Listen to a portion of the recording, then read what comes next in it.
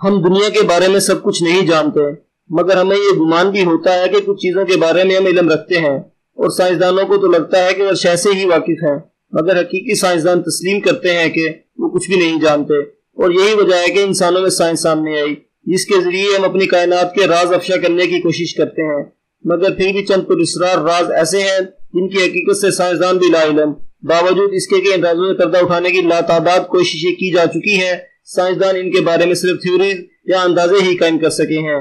आप देख रहे हैं हमारा चैनल कटपीस उर्दू। तो आइए चलते हैं आज के कटपीस की जानिब।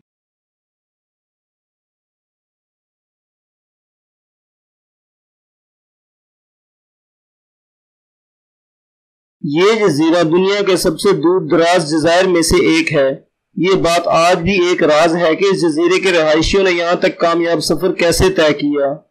और इससे बड़ा राज ये है कि इस जजीरे पर मौजूद देवकामत इंसानी शक्लों के मुजस्मे, जिनका वज़न 10 से 270 टन के दरमियान है, को पूरे जजीरे पर कैसे फैलाया गया? जजीरे के मुकम्मल साहिब पर मौजूद इन मोई नामी मुजस्मों की तादाद तकरीबन 900 है और इंतहाई वजनी होने की वजह से बगैर मशीनरी के इनकी नकलो हमल भी नामुमकिन है। साइंसदान अब तक इन तमाम राजों से पर्दा उठाने में नाकाम रहे हैं। ये बहरे ओकियानूस के ऊपर प्रवास करने वाली दुनिया की सबसे पहली खातून थी। और उन्नीस में दुनिया भर के समंदरों की पैमाइश के हवाले से शोहरत रखती थी। ताहम, अपनी एक ऐसी ही कोशिश के दौरान पोलैंड नामी जजीरे के करीब प्रवास करते हुए अचानक गायब हो गई। यूँ तो इन खातून की गुमशुदगी के हवाले से काफ़ी नजरियात पाए जाते हैं, लेकिन हकीकत में आज तक इस मामले को कोई भी हल नहीं कर पाया। 1966 में दो जोड़े मगरबी वर्जीनिया के इलाके में थे और वो टी एन टी एरिया के करीब से गुजर रहे थे तो इन्हें एक अजीब गरीब और खौफनाक मखलूक दिखाई दी। इस मखलूक के बारे में इनका कहना था कि इसका आधा जिसम इंसान का और आधा परिंदे की मानब था। इस मखलूक की आँखें सुर्ख थी और जब इसने चीख मारी तो इन अफराद ने अपनी गाड़ी की रफ्तार बढ़ा दी। इस पुरसरार मखलूक ने इन लोगों का ताकुब किया, लेकिन शहरी रोशनियाँ देखने के बाद गायब हो गई।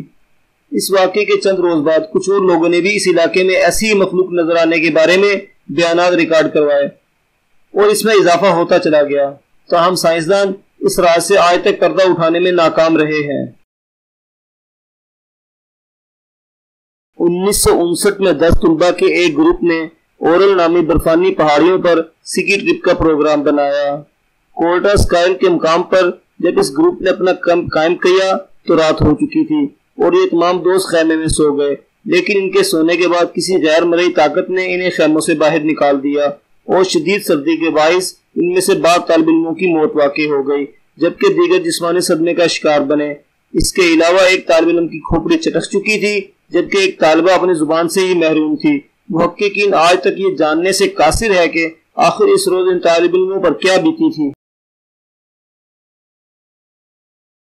1922 में न्यूनस से 70 किलोमीटर के फासले पर वाक़ एक घर की गोरबर फैमिली की नौकरानी ने एक अजीब गरीब इंसान नुमा मखलूक दिखाई देने का दावा किया और इस मखलूक से खौफसदा होकर ये नौकरानी घर छोड़कर चली गई और कभी वापस नहीं लौटी।